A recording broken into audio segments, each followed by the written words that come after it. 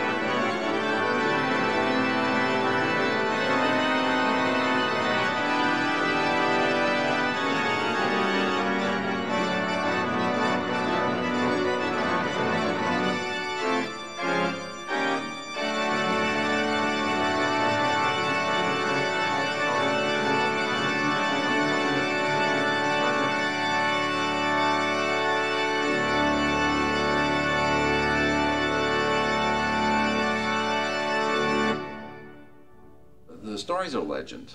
Uh, his quips about um, improvisation when he works with students, when in doubt, trill.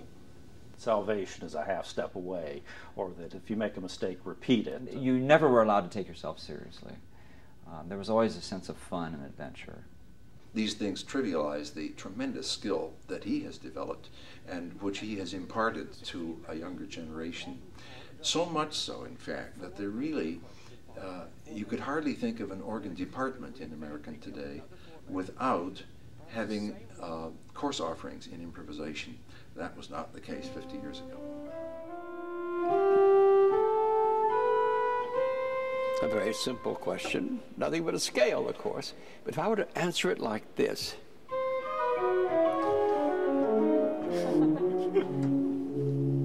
would not be very convincing.